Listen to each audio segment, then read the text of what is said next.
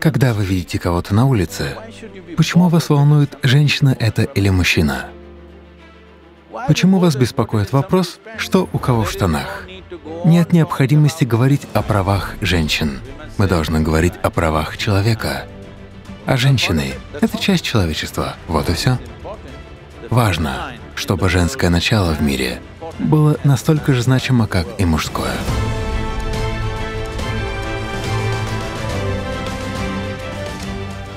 Садгуру, какое качество вы можете выделить в индийской женщине по сравнению с женщинами из других стран мира?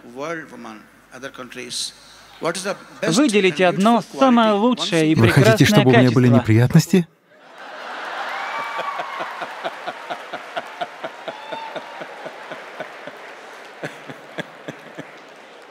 В чем отличие индийской женщины? И в чем она лучше, чем другие женщины в мире?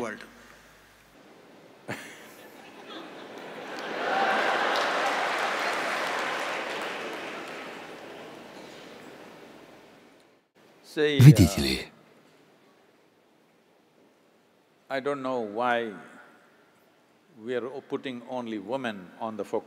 я не знаю, почему мы фокусируем внимание только на женщинах. Мы всегда фокусируем внимание на женщинах, потому что считаем, что они могут быть либо правы, либо неправы. Мужчины, конечно же, всегда правы. И поскольку мы всегда правы, мы постоянно смотрим, правильная ли эта женщина или неправильная. Вы должны понимать, что по каким-то причинам природа возложила на женщину большую ответственность в плане вынашивания ребенка и глубокого влияния на ребенка в раннем периоде его жизни. И когда мы говорим о ребенке, речь идет не только о продолжении рода. Благодаря этому вы и я находимся здесь. Так что само наше существование началось в теле женщины. Это если вы появились естественным путем. Я появился естественным путем, но есть люди, которые утверждают, что они появились откуда-то еще. Мне нечего сказать о них. Если вы родились естественным путем, то ваша жизнь началась в теле женщины. И сегодня мы слишком сильно преувеличиваем простые биологические признаки мужского или женского пола.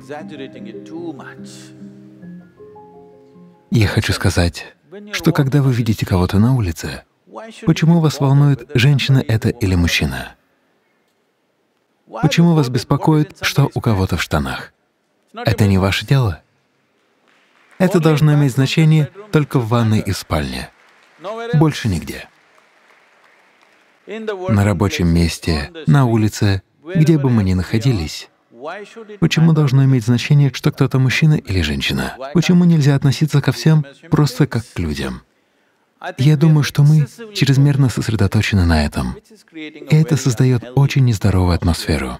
Это значит, что мы постоянно чрезмерно увлечены частями тела, поэтому продолжаем разделять людей по половому признаку. Вы не берете в расчет их интеллект, способности, компетентность, только их пол.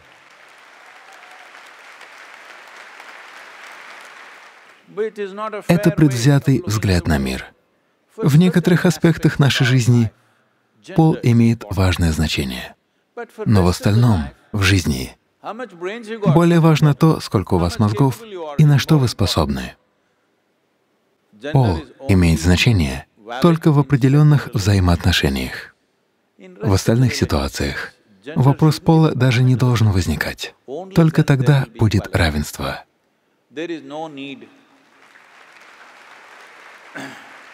Нет необходимости продолжать говорить о правах женщин.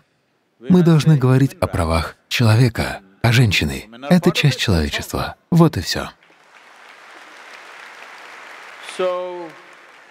Что касается индийских женщин,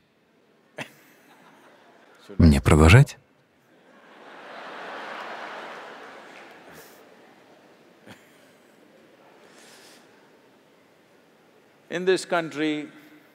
Долгое время в этой стране мы взращивали множество прекрасных вещей, но из-за недопонимания эти чудесные вещи приняли ужасные формы. Когда я говорю «ужасные формы», я имею в виду, что многие простые вещи, которые делались для защиты женщины, для ее благополучия, со временем превратились в дискриминацию и приняли ужасающие формы эксплуатации. Мы должны оглянуться назад и посмотреть, для чего все это было создано. Если мы не займемся этим, то западный мир будет в смятении, потому что они хотят сделать мужчину и женщину равными. Нет необходимости быть равными. Равные возможности — это прекрасно, но не стоит ожидать от женщины того же, что делает мужчина. В чем же тогда смысл полового различия, созданного природой? Важно, чтобы женское начало в мире было настолько же значимо, как и мужское.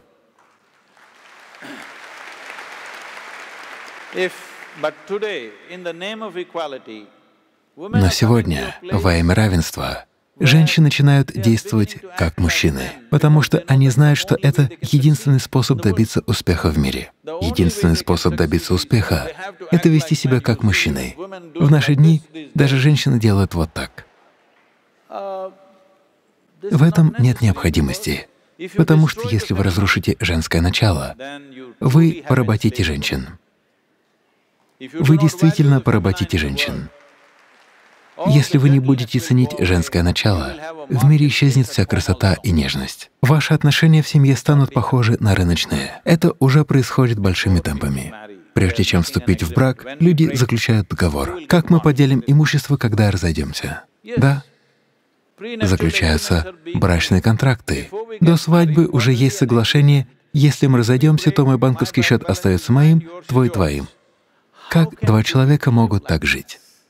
Но здесь все еще есть радость от того, что два человека стали одним целым и наслаждаются этим.